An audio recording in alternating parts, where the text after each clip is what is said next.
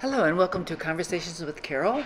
This is my first go around at a live videotaping, so it's going to be short and sweet, but um, I hope informative and a lot of fun.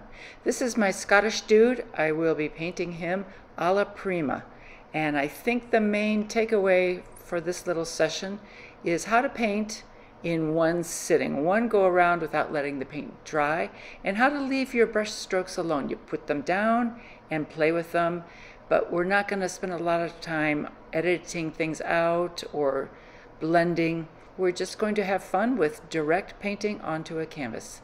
Thank you, and let's go.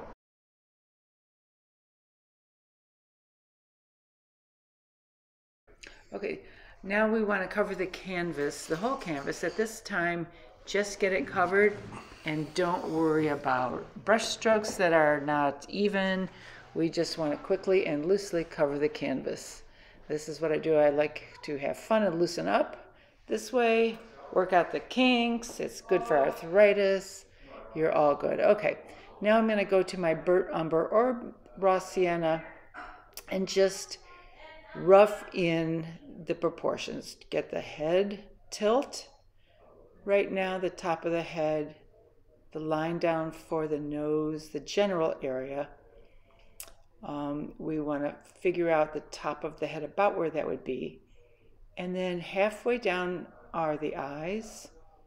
And then the bottom of the nose will be between the eyes and the chin.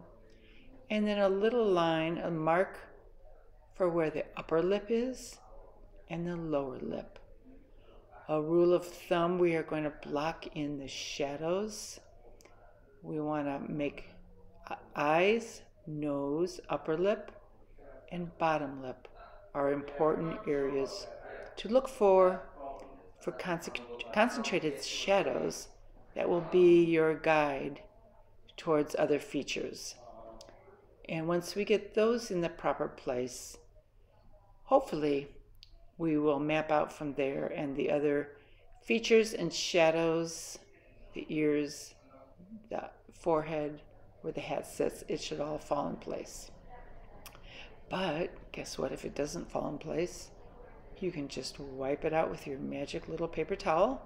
At this stage, because we're laying it in very thin with turpentine, turpenoid, um, just very little medium and um, we're trying to map out our way here. It's very, it's a very important stage actually. You don't want to rush through this stage.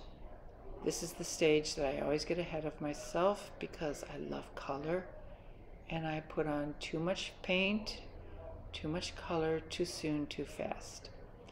So I'm just trying to map it out. Now at this stage, I'm putting on the lights he looks like Mr. Gorilla Man at this point, but not to worry. Every portrait or most paintings go through an awkward, ugly stage. That's okay because as you add, you're going to be making corrections and adding as you go. You're finding your way out. I'm putting on the highlights. I'm coming back in with the midtones, which will be a little bit in between. You can see my painting now. There's many corrections. The nose needs to be moved over and the lips and the eyeballs. But we are going to make these corrections. Not to worry, not to worry. I'm just showing you my good, bad, and ugly. Okay, here we are. We are just about done. I'm going to finish up the background. I'm quite pleased with how he turned out. After moving the nose over, the eyes over, the mouth over, that's about it. Had to move everything over.